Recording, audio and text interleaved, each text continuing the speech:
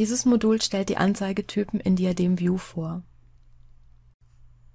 Diadem unterstützt die hier aufgelisteten Anzeigetypen, die Sie in einem Layout beliebig miteinander kombinieren können, um Ihre Daten halt zu sichten und interaktiv zu bearbeiten. Bei den Anzeigetypen wollen wir uns erstmal auf die 2D-Achsensysteme konzentrieren. Sie verwenden 2D-Achsensysteme, um Kurven darzustellen um Kurvenausschnitte zu vergrößern oder zu löschen oder um Kurvenpunkte zu ersetzen. Die Möglichkeiten des 2D-Achsensystems sind so vielfältig, dass wir uns gleich in zwei Modulen damit beschäftigen werden.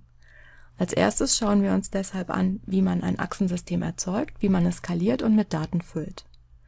In einem zweiten Modul schauen wir uns dann an, wie die Zoom- und Scroll-Funktionen eingesetzt werden und wie man grafisch interaktiv arbeitet. Wir wollen uns jetzt anschauen, wie man Achsensysteme erzeugt, skaliert und mit Daten füllt. Und für diese Aufgabe verwenden wir unseren Standarddatensatz Example, denn dieser Datensatz hat unterschiedliche Kanalarten, an denen wir das Darstellen sehr schön und Skalieren sehr schön zeigen können.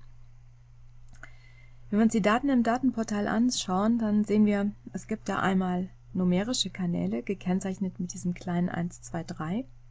Es gibt aber auch Waveform-Kanäle, die mit diesem Sinus gekennzeichnet sind. Und es gibt einen Textkanal. So, also dieser Datensatz sollte uns genug Möglichkeiten geben, Daten unterschiedlich anzuzeigen. Gut, wir beginnen mit einem leeren Arbeitsblatt und nutzen mal eine, ein Achsensystem. Okay. Um jetzt Daten darzustellen, müssen wir die gewünschten Daten einfach im Datenportal markieren und können sie dann mit Drag und Drop in das Achsensystem übertragen. Das haben wir eben schon gemacht. Da sind wir hingegangen und haben eine Kanalgruppe gekennzeichnet und dann mit Drag und Drop ins Achsensystem übernommen. Und dabei haben wir festgestellt, das kann ich auch gerade noch mal zeigen, dass Diadem hingeht und alle Kanäle dieser Datengruppe, dieser Kanalgruppe, über dem ersten Kanal, nämlich dem Zeitkanal hier, darstellt. Das passiert ganz automatisch. Wenn Sie eine Reihe numerischer Kanäle markieren, interpretiert Diadem den ersten Kanal immer als den Kanal für die x-Achse. Und das ist hier passiert. Also, Geschwindigkeit, Drehzahl und Drehmoment werden im Moment über der Zeit dargestellt. Diadem hat festgestellt, dass diese Kanäle unterschiedliche Wertebereiche haben, hat den maximalen Wertebereich ermittelt und auf der y-Achse aufgetragen. Diese Darstellung ist jetzt für uns nicht so aussagekräftig. Wir können die Wertebereiche hier unten für die Geschwindigkeit kaum ablesen und deswegen werden wir als erstes mal die Skalierung verändern. Eine Besonderheit der Achsensysteme ist, dass sie eine eigene Befehlsleiste haben. Wir haben das eben schon gesehen. Hier oben gibt es die allgemeine Befehlsleiste von Diadem Script, in der Sie ein Layout laden, ein Layout speichern oder mit bestimmten Cursor-Funktionen dann Ihre Daten bearbeiten. Zu jedem Achsensystem gibt es aber eine eigene Leiste und in dieser Leiste können Sie zum Beispiel Wertebereiche vergrößern Sie können Bereiche bilden und die in separaten Kanälen ablegen und Sie können hier auf die Skalierung einwirken. Schauen wir uns an, welche Möglichkeiten es gibt, die y-Achse zu skalieren. Einfach auf das Pfeilchen klicken und dann öffnet sich diese Liste. Eine Möglichkeit, die Daten darzustellen, wäre jetzt, dass wir eine prozentuale Darstellung wählen. Einfach anklicken und dann ändert sich das Bild. Mit dieser Darstellung geht Diadem jetzt hin, oder bei dieser Darstellung, ermittelt die Wertebereiche von allen drei Kanälen und bildet sie dann auf einen y-Skala von 0 bis 100% ab. Die Information, die jetzt abhanden kommt, ist die Bezeichnung der Kanäle. Die finden wir dann aber wieder in der Legende, die wir auf der rechten Seite des Achsensystems aufziehen können. In der Legende wird uns jetzt angezeigt, welcher Kanal mit welcher Farbe dargestellt wird und wir sehen auch hier die aktuelle Einheit.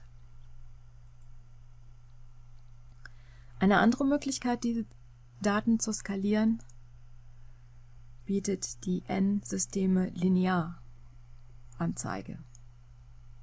In diesem Fall stellt Diadem drei Achsensysteme dar und in jedem Achsensystem eben ein eigenes Kanalpaar. Einmal die Geschwindigkeit, einmal die Drehzahl und einmal das Drehmoment, aber jeweils über der Zeit. Diese Darstellung ist schon sehr viel deutlicher. Wir sehen nämlich jetzt, dass sich die Geschwindigkeit im Wertebereich von 0 bis 50 Metern pro Sekunde befindet. Oder dass die Drehzahl zwischen 1000 und 6000 Umdrehungen pro Minute vorliegt. Ja, es gibt noch eine dritte Darstellungsart, die häufig verwendet wird und das ist die N-Y-Achsen. Das bedeutet, wir zeichnen jetzt ein Achsensystem mit n Unterachsen. Und alle Daten werden wieder optimal skaliert dargestellt. Die Bezeichnungen für die Kanäle stehen wieder an den Achsen, das heißt, die Legende brauchen wir im Moment nicht und ich schiebe die nochmal zurück damit ein bisschen mehr Platz für die Kanaldarstellung bereitsteht.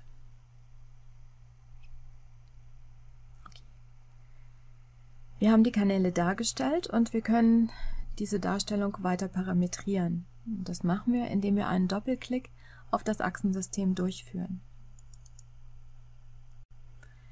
Wir kommen jetzt in einen Dialog, in dem wir die 2D-Darstellung des Achsensystems beeinflussen können. Hier auf der ersten Seite bestimmen wir, welche Kanäle wie angezeigt werden, also mit welcher Linienart und in welcher Farbe. Wenn uns die grüne Kurve nicht gefällt und wir möchten stattdessen eine, sagen wir, dunkelgraue sehen, wählen wir die entsprechende Farbe aus, bestätigen das mit OK und dann werden diese Änderungen sofort übernommen. Die Kurve, die Beschriftung, die Zahlendarstellung und das Legendensymbol erscheinen dann in Grau. Okay. Kommen wir nochmal zum Darstellen der Daten zurück, also zum Übertragen der Daten mit Drag und Drop aus dem Datenportal. Wir haben gerade gesehen, dass, wenn wir eine Kanalgruppe markieren, alle Kanäle über dem ersten Kanal angezeigt werden. Schauen wir uns die weiteren Möglichkeiten an. Ich gehe dazu hin, für einen rechten Mausklick auf das Achsensystem durch und wähle alle Kurven löschen. Ja. Dann können wir hier andere Kanalkombinationen anzeigen lassen. Wenn Sie nicht alle Kanäle einer Gruppe darstellen möchten, sondern nur ausgewählte Kanäle, dann können Sie auch hingehen und diese separat markieren. Also, wenn wir zum Beispiel die Zeit, Drehzahl und Drehmoment im Achsensystem darstellen lassen wollen, dann müssen wir die Zeit und diese beiden Kanäle markieren. Und das machen wir, indem wir den ersten Kanal markieren, dann die Steuerungstaste drücken und anschließend Drehzahl und Drehmoment anklicken. Diese drei Kanäle sind jetzt aktiv und mit Drag und Drop können wir die ins, Daten, äh, ins Achsensystem übernehmen. Machen wir das. Okay. Und auch hier ist es wieder so, dass Diadem den Kanal, den wir zuerst angeklickt haben, als X-Kanal interpretiert. Okay. Also Drehzahl und Drehmoment werden über der Zeit aufgetragen noch eine andere Möglichkeit. Dazu lösche ich nochmal alle Kurven. Mit, der, mit dem Markieren bei gedrückter Steuerungstaste haben wir gesehen, können wir nicht zusammenhängende Kanäle markieren. Wenn wir jetzt eine Reihe Kanäle, die hintereinander stehen, übernehmen wollen oder markieren wollen, dann machen wir das, indem wir die Umschalttaste drücken. Ersten Kanal anklicken Umschalt drücken, letzten Kanal der Reihe anklicken und dann werden alle dazwischen liegenden Kanäle markiert und können dann mit Drag und Drop übertragen werden. Es gibt noch eine Möglichkeit, in der Sie ohne zusätzliche Tasten auskommen. Die wollen wir uns jetzt auch anschauen. Also nochmal alle Kurven löschen. Es gibt nämlich die Möglichkeit, dass Sie nicht zusammenhängende Kanäle nur mit der Maustaste markieren. Und dazu gehen Sie einfach hin, markieren den ersten Kanal und klicken dann mit der linken Maustaste auf das Symbol der weiteren gewünschten Kanäle. Und Sie sehen jetzt, an dem Mauszeiger erscheint ein kleines Pluszeichen und das bedeutet, dieser Kanal wird beim Anklicken zu den ausgewählten Kanälen hinzugefügt. Also anklicken und dann wird die Geschwindigkeit markiert. Anklicken und das Drehmoment wird aktiviert und übernommen.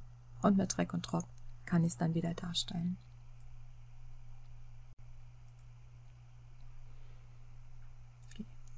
Ich lösche nochmal alle Kurven. Jetzt habe ich gerade gesagt, dass es für Diadem wichtig ist, welcher Kanal zuerst markiert wird.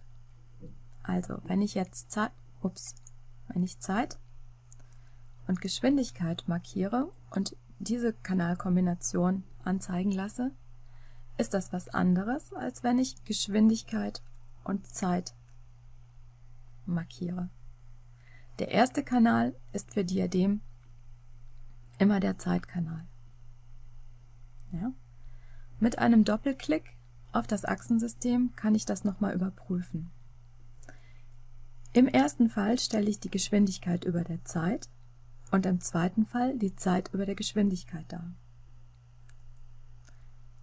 Diese Zeile hier, die zweite Zeile, die ist ähm, jetzt für uns nicht mehr wichtig und die können wir löschen. Das machen wir, indem wir die Zeile markieren und auf das rote X klicken. Eintrag löschen. Okay. Also der erste Kanal wird immer als Zeitkanal, als X, also als Kanal für die X-Achse interpretiert. Gut, ich lösche nochmal die Kurven.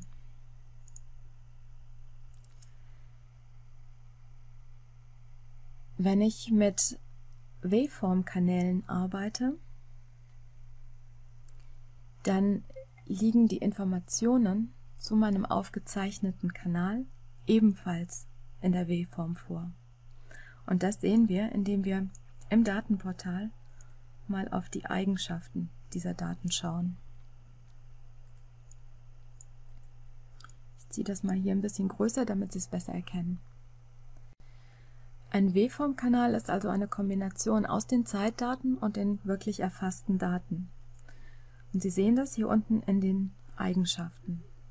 Die Zeitinformation für den W-Form-Kanal wird in den Eigenschaften, in diesen Eigenschaften hier, aufgeschlüsselt. Ich habe einmal den Namen des, des Zeitkanals, die Einheit des Zeitkanals und dann die Beschreibung der, der eigentlichen Zeitwerte. Also, wann wurde das Aufzeichnen begonnen, mit welchem Offset wird gearbeitet und mit welcher Schrittweite sollen wie viele Daten erzeugt werden.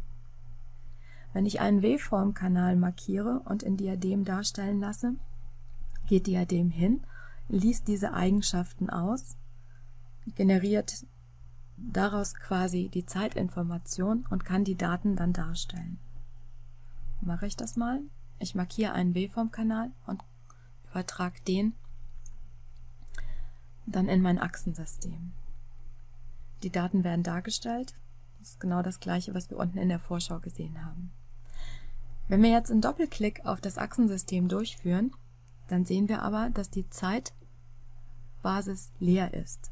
Das heißt, hier ist kein expliziter Kanal eingetragen, denn Diadem geht ja hin und übernimmt die Zeitinformationen aus den W-Form-Eigenschaften.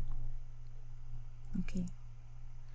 W-Form-Kanäle kann ich jetzt auch beliebig miteinander kombinieren. Einfach die nächsten anklicken und mit Drag und Drop übernehmen. Also zu W-Form-Kanälen muss ich keinen Zeitkanal anklicken, sondern es reicht einfach, diesen Kanal zu aktivieren und ihn dann zu übertragen. Gut, eine Sache sollten wir uns dann noch anschauen, nämlich was passiert, wenn ich nur einen numerischen Kanal aktiviere. Ich lösche nochmal alle Kurven. Wenn ich jetzt im Bereich der numerischen Kanäle zum Beispiel die Geschwindigkeit aktiviere und mit Drag und Drop ins Achsensystem übernehme, dann können die Daten dargestellt werden. Mit einem Doppelklick auf das Achsensystem sehe ich, dass die Zeitinformation fehlt. Ich habe keinen Zeitkanal aktiviert. Es werden nur die Daten aus dem Kanal Geschwindigkeit angezeigt. Und wenn ich nur einen Kanal auswähle, dann heißt das für Diadem, dass die Daten über dem Index aufgetragen werden. Und das ist genau das, was ich hier unten auf der Zeitachse, auf der x-Achse sehe.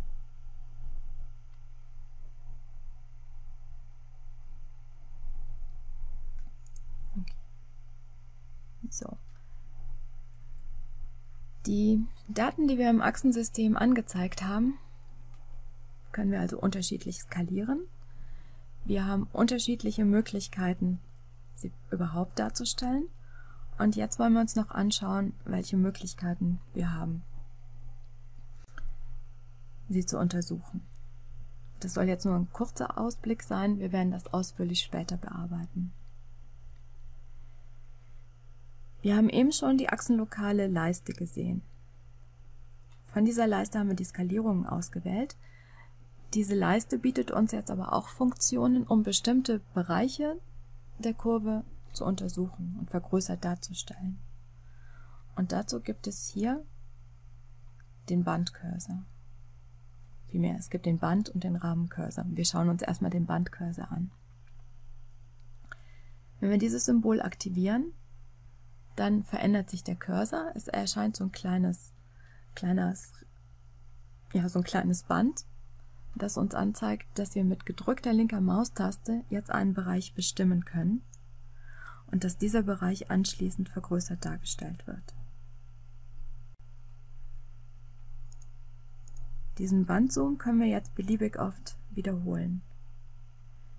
Wenn der Bandzoom aktiv ist, können wir aber auch mit dem Mausrad in die Daten rein scrollen, rein zoomen oder auch wieder rauszoomen. Wir können den Bandzoom anschließend auf einen neuen Bereich setzen und hier die Daten vergrößert darstellen. Das gleiche gilt, wenn wir den Rahmencursor, also den Rahmenzoom aktivieren. Hier ist dann nicht nur der x, sondern auch der y-Bereich begrenzt.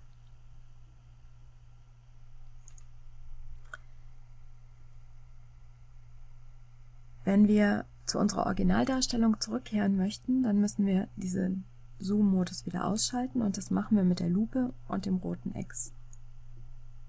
Und damit sehen wir wieder unsere Originaldaten. Wie gesagt, das nur als kurzer Hinweis. Wir werden das in einem späteren Modul ausführlich erläutern.